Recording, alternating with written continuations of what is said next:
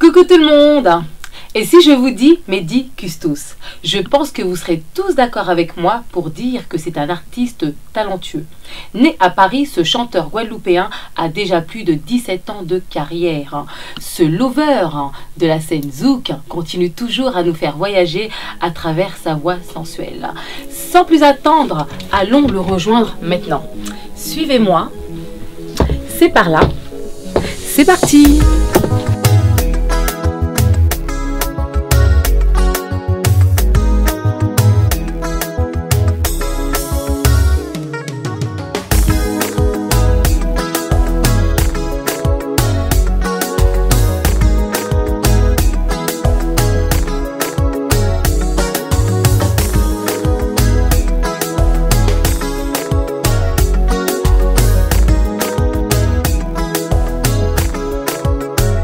Mehdi Salut Kérida. Comment es-tu? Très bien, merci. Au plaisir de te revoir hein. Ben également, et merci de nous recevoir à ton studio. oui, en fait, on est euh, là où, dans ma tanière musicale, on va dire. D'accord, là où tu travailles, euh, Voilà. tu repars tes, tes tubes, hein, on va dire ça comme ça. Des chansons. Et après, en fait, Oh, euh, t'as eu quand même pas mal de tubes. Hein. ouais, bon, l'année Ouais. 2014 a été une année euh, très intéressante de ce côté-là. D'accord. Ouais. Donc, euh, affaire à suivre pour 2015. Nous sommes en 2015, sans oublier. voilà. Mehdi, Oui. j'ai pris quelques notes. Confirme-moi si tout est bon. Tu es un artiste incontournable de la scène zouk. Tu totalises plus de 17 ans de carrière. Très jeune, tu participes à de nombreux festivals et tu te familiarises à la scène. Tu es également auteur, compositeur, interprète et producteur. Tu totalises 4 albums solo, quelques singles, des collaborations, beaucoup de clips. Tu as également participé à plusieurs compilations. Tu as fait beaucoup de tournées en France comme à l'étranger. Amoureux de la musique, ce n'est pas pour rien que l'on te considère comme un lover. Pour les fans qui souhaitent te découvrir, Mehdi Custos, peux-tu te présenter? Bien vu euh, la façon dont ça a déjà été énoncé, je pense que si je dois rajouter quelque chose, c'est que euh, j'ai d'abord en fait euh, découvert la musique en Guadeloupe. C'est une île qui m'est très très chère. D'ailleurs, c'est là d'où je viens. Je me sens guadeloupéen, même si voilà, je suis aussi français. Mais euh, je me sens d'abord guadeloupéen puisque c'est là en fait que ma culture musicale s'est développée. C'est là que j'ai euh, fait mes premières armes euh, entre les MJC de Pointe-à-Pitre, les MJC de, des Abîmes, et que j'ai en fait commencé à travailler entre guillemets dans le milieu de la musique. Donc j'ai attrapé euh, une branche euh, par les chœurs. euh, j'ai eu aussi l'occasion de travailler avec des petits groupes qui m'ont permis de mettre le pied à l'étrier. Puis après, bon, il y a eu euh, l'aventure Kwebi qui m'a amené au Centre des Arts avec des artistes tels que Jean-Jacques Goldman, avec Jacques Higelin, les trios Speranza. Kwebi, c'était une section a cappella qui reprenait aussi des standards de la variété antillaise que nous ré- réadaptions à notre sauce. Donc comme des chansons comme Moins d'hommes idéaux, des begins comme Doudou Papléré, euh, très appréciés notamment par euh, nos grands frères de, du groupe Malavoie qui nous avaient également invités. Donc voilà, donc il y a eu toutes ces étapes qui m'ont permis euh, de prendre goût à, à- à cette- à cet art, la musique, à me bonifier aussi sur scène, à prendre mes marques, hein, prendre mes marques. Et puis après, bon, euh, il y a eu l'aventure discographique avec le premier album euh, qui a été très très bien accueilli. Euh, les succès euh, comme à jamais, puis pas oublier, franc jeu, bon voilà, ce sont des, chansons qui, qui sont aujourd'hui inscrites dans mon, mon, dire mon répertoire récurrent. Lorsque je suis quelque part, je, suis obligé d'interpréter ces chansons, auxquelles se sont rajoutés euh, des, des succès encore plus grands comme Elle demande du zouk, Mediva, qui représentent euh, la partie la plus festive de mon répertoire. Puisque, Très bien. Dis-moi, Mehdi, après un bon nombre de tubes, comme tu as cité quelques titres euh, un instant, je vais te le reciter, quelques exemples comme Tant pis, pas oublié, Avec toi, Mediva, Elle me demande du zouk, euh, Love a Girl ou encore juste une heure, mais il y a eu plein d'autres, mais on va pas tous les Oui, citer. hein. On va oui. tous les citer. Euh, tu nous reviens avec ton nouveau clip intitulé Me Love You. Parle-moi de ce tube.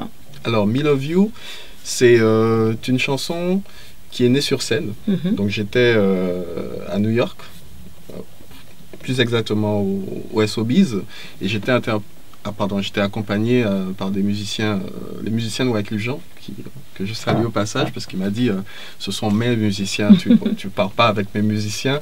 Mais en tout cas, on a passé un très très bon moment sur, très, très bon moment sur scène. Et euh, dans l'échange avec le public, euh, ce soir-là, en fait, euh, ce refrain, Me Love You, est, venu euh, spontanément. Et euh, j'ai regardé mon manager euh, à ce moment-là, qui m'a fait Hmm, c'est peut-être peut-être une prochaine chanson. Et donc, lorsque je préparais justement cet album ADN, je me suis rappelé de, de cet air en fait qui était venu spontanément et j'ai construit une chanson autour. Donc, j'avais, euh, ça me tenait à cœur de, de pouvoir faire, faire une chanson totalement en créole, puisque ça faisait un moment que mon public aussi me le réclamait, hein, puisque depuis Pépa Oublié, euh, on ne m'a pas beaucoup entendu, en tout cas en radio, euh, sur ma langue, on va dire, la langue, ma, ma langue natale, hein, c'est Mm. c'est- le créole. Et euh, donc, j'avais ça me tenait à- vraiment à cœur de pouvoir en fait euh, m'exprimer de cette manière-là. Et Me Love You a été justement ben, l'occasion de le faire. Un très très beau titre. Mais je tiens à signaler que sur tous mes albums, en fait, euh, alors je fais juste une petite parenthèse sur Ouais. le créole, puisque euh, c'est vrai que depuis Pépa Oublié, on m'avait pas beaucoup entendu en créole. Mhm. Mais euh, j'ai envie de dire, c'est un petit peu la faute des médias, puisque sur tous mes albums, il y avait entre 3 et 4 chansons en créole. Donc euh, après, les chansons en français sont, sont passées devant. Euh, elles ont eu euh, la, la préférence des programmateurs. Et à ce niveau-là, on ne peut pas trop intervenir. Donc là, quelque part, j'ai beaucoup misé sur Me Love You. Euh, sur cet album, comme sur les précédents, il y a quatre chansons en créole, notamment euh, la collaboration avec Timiki, euh, qui est qu'on ne présente plus, hein. Mm. Timiki, faire de lance de la nouvelle génération de, des artistes haïtiens. Il y a également d'autres artistes que j'ai invités comme FD Phénomène. Il y a Jessie Matador, il y a, y, a, y a plein de gens en fait qui se sont venus se greffer au projet ADN et euh, on, on profitera aussi de l'année 2015 pour pouvoir révéler d'autres choses aux, aux gens qui me suivent. Très bien. Parlons du clip euh, toujours sur Me Love You. Il y a eu un casting euh, très joli, hein, euh, la figurante dans ton clip. hein. Oui, en fait, alors, après avoir tourné Mhm, les clips ici, mhm. donc euh, je me retrouve en fait en Guadeloupe et je me dis, bon, ben, il va falloir que je puisse, comme c'est une chanson euh, que je veux qu'elle appartienne à, à, à- à mon public en fait antillais, même si, bon, je veux qu'il puisse se reconnaître en fait dans cette chanson, je veux qu'il puisse la porter. Euh, tant qu'à faire, nous allons tourner un clip en Guadeloupe parce que j'avais pas tourné une chanson euh, en clip depuis pas mal de temps, beaucoup d'années étaient découlées depuis, je crois que le dernier clip que j'ai tourné en Guadeloupe c'était Tant pis. Donc euh, je voulais absolument tourner un clip en Guadeloupe et euh, c'est vrai que le casting a été euh, très sévère, vu. très sévère. Ouais. Et puis bon, j'ai eu quand même la chance d'avoir quatre, quatre jolies femmes qui, ont participé à cette aventure, notamment euh, la Miss Caraïbe Hibiscus euh, qui, a le- qui avait le, le rôle principal, et puis euh, également l'égérie de, du créateur qui a habillé les filles sur, euh, sur le tournage. Donc j'ai envie de me rappeler des prénoms, c'est un petit peu compliqué. Je crois que c'est Nancy Femius également. Donc voilà. Donc, et les autres aussi, elles ont un prénom, mais euh, Voilà. j'ai eu moins d'échanges euh, avec, euh, avec les autres personnes du, du Tournage. du tournage. Pardon. Mhm. Comme le créateur m'a dit que bon, c'est l'égérie de, de, de, ma, de ma marque, en fait, de mes, de mes créations. Donc je te la propose. Et à ce moment-là, effectivement, il y a eu un échange qui m'a permis de, de, de me rendre compte en fait que- qu'elle portait très très bien les créations de Jean-Marc Benoît. Très bien. En tout Il y a d'autres personnes aussi que bon, je pourrais remercier Mm. euh, qui ont prêté main forte à ce projet. Euh, euh, Mireille la coiffure qui s'occupait des coiffures. Et en fait, c'est une conception vraiment, vraiment, vraiment euh, faite avec des gens de chez moi. Le clip a été tourné aussi par Kali Sarkis. Il y a euh, également euh, pour la décoration euh, un, très très grand décorateur. D'ailleurs, j'ai fait un jeu sur les réseaux sociaux pour pouvoir. J'avais mis, j'avais mis les gens à contribution pour dire, selon vous, est-ce que c'est tel tel créateur, tel décorateur qui a, qui a fait la déco du clip? Et euh, donc, euh, bon, il y a des gens qui ont trouvé, il y a des gens qui ont trouvé, il y en a qui n'ont pas trouvé. C'est un petit peu dur pour ceux qui ne connaissent pas. Mais c'était aussi une façon pour moi euh, de présenter. Voilà. présenter. Tout à fait. Voilà, c'était Giuliano Cubano qui s'était occupé, occupé de la décoration. Coucou Giuliano. Coucou Giuliano. Mehdi, le serial lover que tu es a encore frappé fort. Après le clip novateur Love Girl, ainsi ton gros succès au Bataclan qui, s'est déroulé en octobre 2013. Et aujourd'hui, tu, nous séduis tous avec euh, ton clip Juste une heure et sans oublier ton dernier clip Me Love You. Fantastique.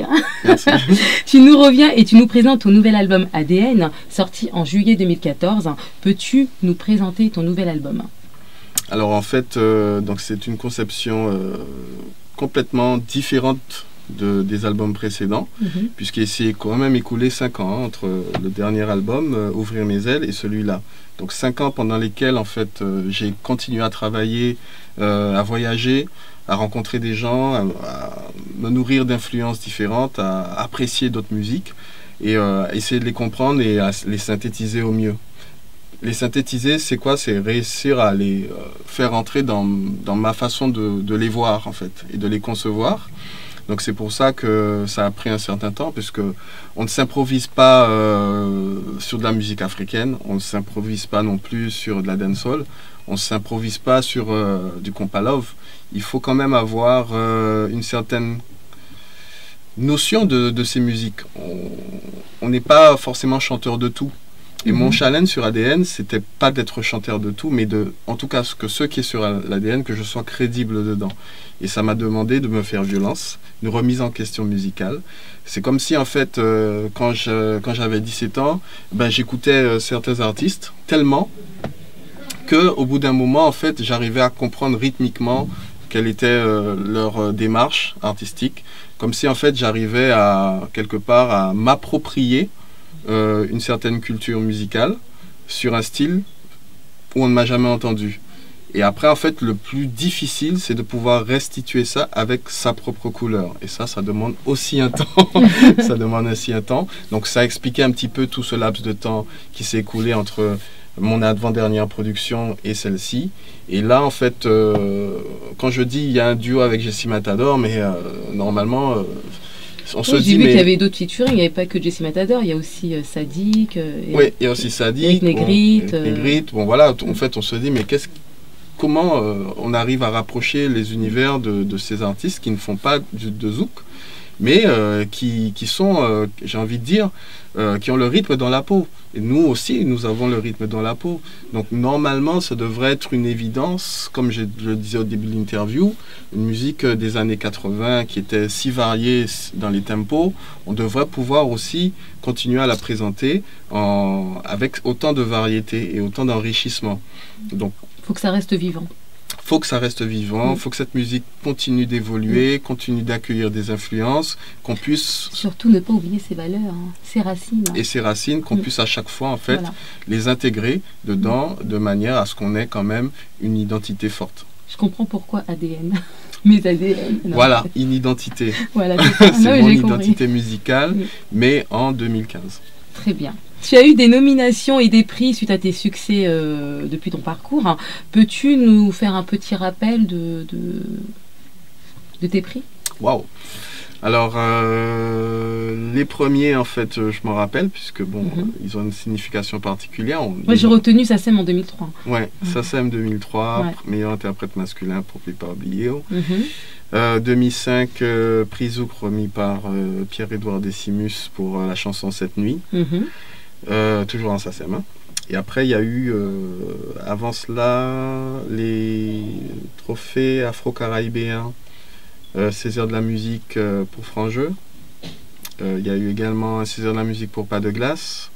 Il y a eu un César aussi pour la chanson Vivre. C'était meilleur compositeur. Et donc, j'ai eu un Koundé d'or au Burkina Faso, meilleur artiste de la Caraïbe. Et le reste, je m'en rappelle pas. En tout cas, quoi qu'il en soit, il a eu beaucoup, hein, excuse-moi de te dire ça. Ce il y a aussi des trophées, comment faire certaines radios mhm. en Guadeloupe, parce qu'en fait, on focalise beaucoup sur les prix officiels, mais il y a aussi les, les prix que, que certaines manifestations veulent offrir, parce qu'en fait, euh, donc je pense à, à des, des, des, gens comme MFM, des gens comme euh, Énergie, qui à l'époque en fait organisaient beaucoup de cérémonies. Mhm. Et euh, donc il y a eu d'autres radios, d'autres organisations qui m'ont donné des prix, dont je prends soin également, qui ont autant de valeur. Mais je pourrais pas tous les citer. Mais tu as vu tout ce que tu nous as dit là? Tout ce que tu nous as cité, c'est énorme. Cela prouve que tu es un génie de la musique. Ah non, j'ai pas cette prétention-là. Je suis un amoureux. Un amoureux du travail, on va dire de la musique bien faite. Et un génie. Attends, s'il y, y, a le côté génie, c'est que le travail est là, quoi. C'est qu'on aime ton travail, mais dis, sois conscient de tout ça. C'est gentil, j'apprécie. Euh, mais en fait, euh, je pense que le talent en lui-même, en fait, c'est le point commun de toutes mhm. les personnes qui se lancent dans cette aventure. Mm. Normalement, en fait, on est censé avoir, quel que soit ce qu'on entreprend, mhm. une part de talent naturel. Euh, bon, on va sortir de la musique. Imaginez qu'on est sur une course de 100 mètres on ne s'improvise pas sur une course de 100 mètres si on n'a pas déjà des capacités de coureur. Mm. maintenant, effectivement, il y a le travail qui permet d'optimiser en fait ces capacités et euh, de rendre meilleures les compétences qu'on a pour un type d'expression. Donc la difficulté pour tous ceux qui ont du talent, euh, c'est de toujours à chaque fois émettre un travail qui soit porteur. Donc, euh, mais tu arrives à le faire partager avec ton public. La oui, preuve en est. La preuve en est. Je pense que je ne suis pas dans ma bulle en fait. Quand je, quand en fait, tu réalises pas. Non. Voilà, je, je, te le dis. Et parce que moi, nous on, le, nous, le ressent, on le voit déjà, tout ce que tu as cité, c'est énorme déjà, tu t'en rends pas compte. Donc tout ça joue sur ton travail. Donc si, si ça joue sur ton travail, c'est que ça intéresse tout le monde. Oui. Voilà. C'est bien. Euh, pas, oublier, pas oublier, c'est ça pas oublier. pas oublier, voilà, c'est ça. Non, mais c'est c'est euh, gratifiant. Voilà. Ça, ça, fait, euh, ça fait du bien.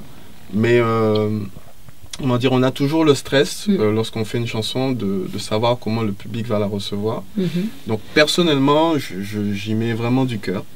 Euh, je vais soigner chaque mot, chaque, chaque métaphore, chaque rime pour qu'elle soit euh, en fait la plus... Si ça peut... Si on peut concevoir la perfection. Mais en tout cas, que dans ma vision de la perfection, que je puisse me dire, j'ai rien à changer. Voilà, ne sur, change pas. Sur cette rime-là, je, n'ai rien à changer. sur cette métaphore, j'ai trouvé la bonne image. Euh, mon objectif à chaque fois, c'est de pouvoir en fait ne pas avoir de regrets sur une chanson. Me dire que j'ai fait tout ce que j'ai pu. Voilà. Mehdi Custos, qu'as-tu fait le jour de la Saint-Valentin? Eh bien, j'ai fait d'ombre et crevettes. C'est vrai ce petit mensonge hein. C'est vrai. C'est vrai. J'ai cuisiné. C'est vrai. J'ai fait T'as pas fait que ça, j'en suis sûr. Ah ben j'ai fait d'ombre et crevettes, j'ai cuisiné, mais tu sais, il fait pas très beau, hein, donc euh, on n'a pas été nulle part. Et les, en général, les gens ils font quoi? Ils soit ils partent en voyage, ou bien soit, euh, soit ils font un restaurant. Hmm. Bon, moi, vu que j'aime la cuisine, donc euh, je dis pas que c'est pas bien un restaurant, hein, mais je dis que bon, je me débrouille suffisamment pour pouvoir aussi euh, mettre la main à la pâte, sans jeu de mots, et, euh, faire plaisir euh, à madame sur quelque chose qu'elle aime bien et que je prépare bien. D'accord, très bien. On peut vérifier ça sur les réseaux sociaux. Bon, moi, je moi, d'accord, moi, je vais, bah, moi, je moi, je vais te dire tout de suite ce que j'ai vérifié dans les réseaux sociaux le jour de la Saint-Valentin, Médicus. Pour la Saint-Valentin, tu as rendu visite aux jeunes patients de la clinique Édouard Rist à Paris. Ah oui, mais ça c'est autre chose. C'est vrai que c'est une belle initiative pour tous les malades.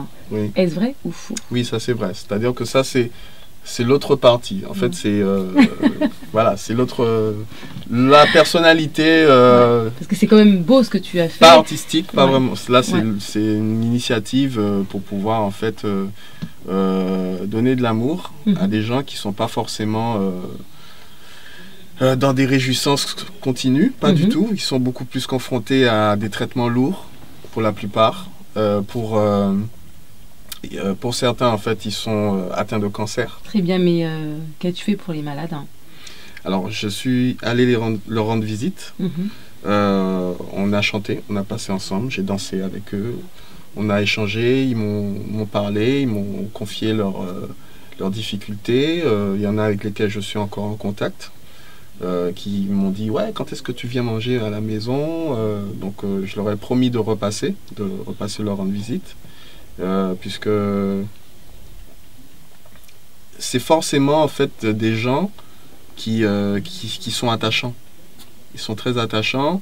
Je me dis qu'on doit pouvoir, dans, son emploi du temps, organiser euh, une petite heure pour pouvoir en fait rendre visite à ces gens qui sont euh, dans les difficultés euh, innommables.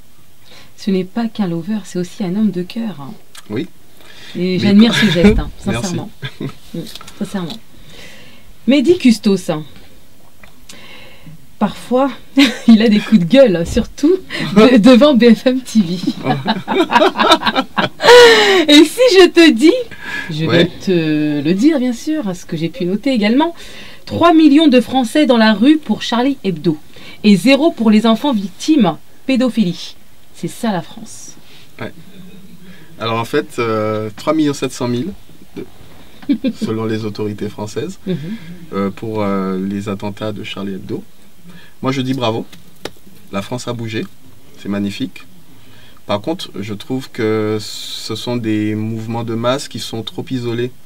Parce qu'en fait, euh, s'il faut à chaque fois attendre qu'il y ait des morts pour pouvoir en fait prendre conscience qu'il faut se mobiliser contre toutes les, euh, les, souffrances non légitimées euh, que peuvent endurer les gens, on va pas s'en sortir il y a trop de choses qui vont passer à la trappe.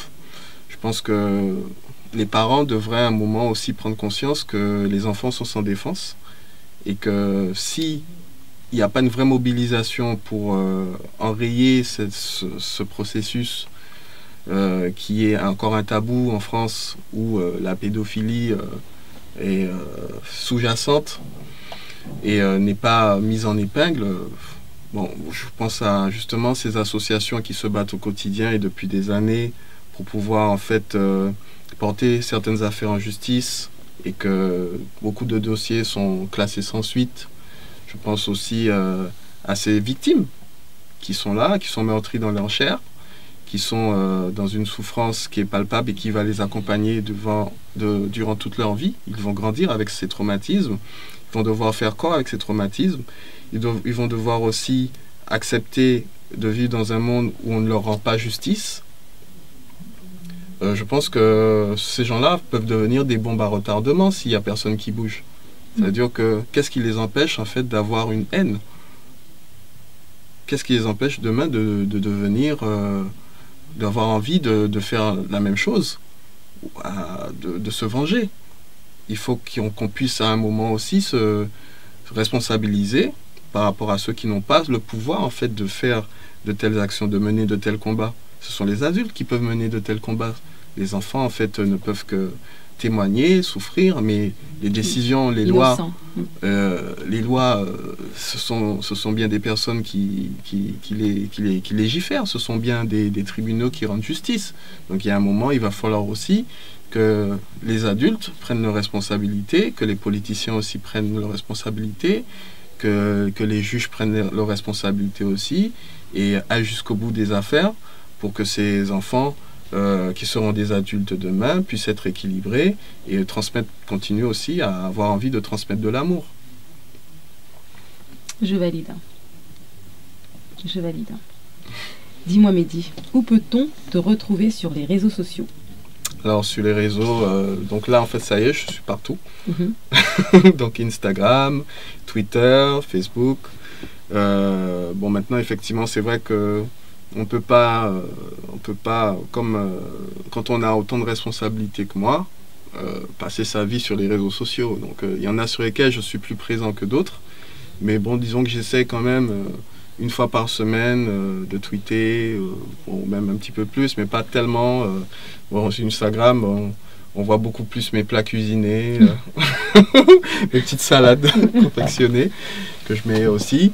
Et puis sur Facebook, comme c'est la page où j'ai le plus de, représentativité, puisque bon, là on a atteint les 90 000. Et donc j'essaie de diffuser un petit peu plus ma personnalité, et euh, aussi la musique et euh, mon actualité. D'accord, très bien. Merci Mehdi. De rien, Karina.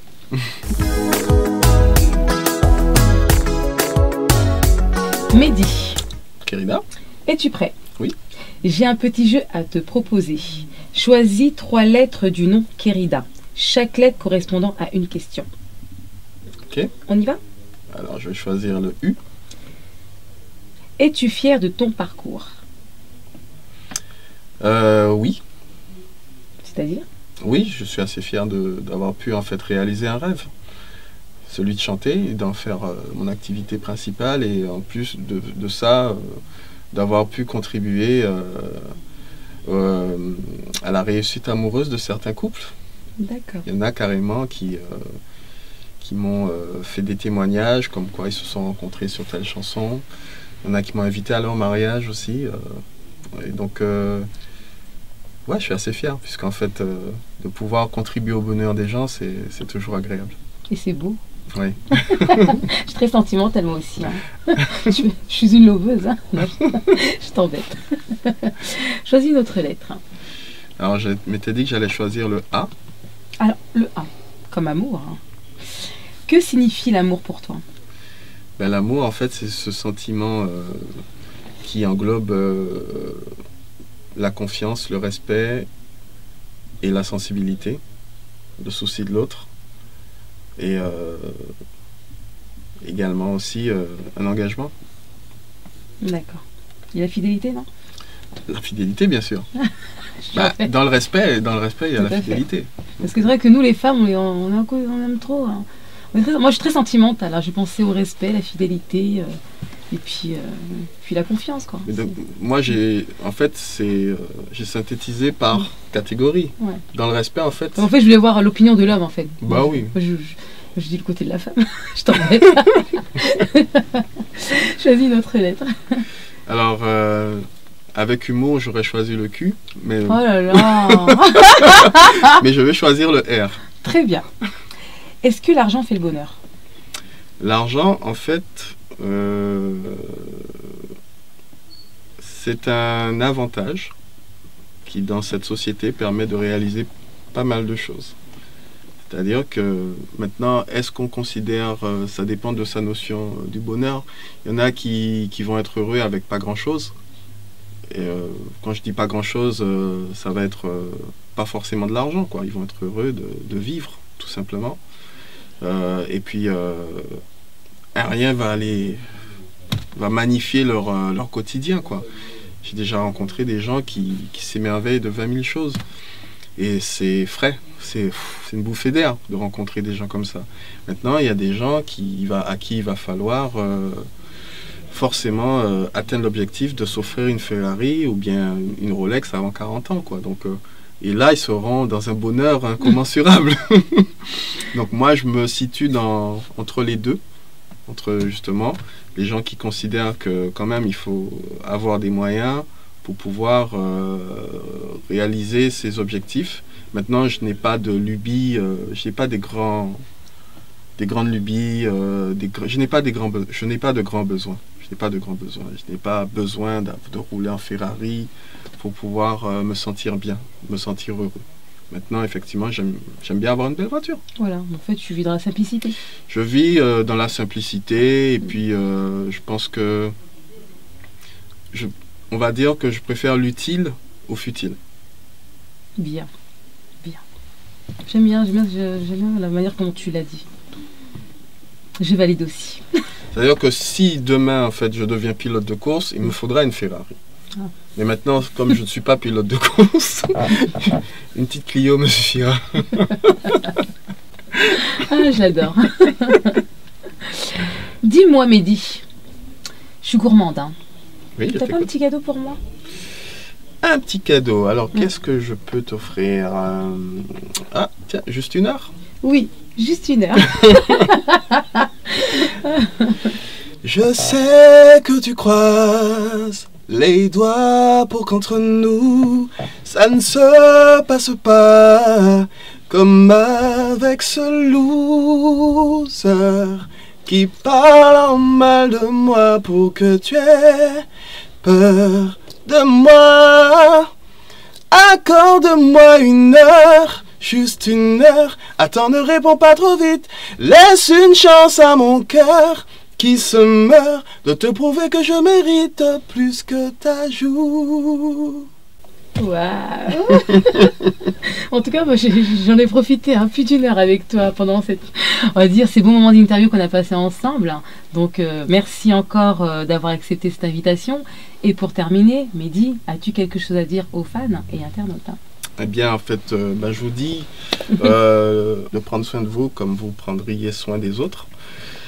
Euh, je dis bien prendre soin de vous comme vous prendriez soin des autres, puisque en fait, euh, si vous n'avez pas d'amour propre, vous ne pourrez pas non plus en donner aux autres, et c'est important. Alors, euh, ce que je vous dis encore, c'est que l'année 2015 va être une année ADN. Vous allez me, me redécouvrir encore. je vais encore essayer de vous surprendre dans le bon sens. Et euh, il y aura bien sûr euh, le style Medicustos que vous connaissez, mais il y aura aussi euh, des choses avec lesquelles vous devrez vous accommoder. J'espère qu'elles vous plairont. Encore un gros merci à Medicustos pour cet accueil si chaleureux au studio. N'oubliez pas, c'est un génie de la musique, un artiste incontournable de la scène Zouk.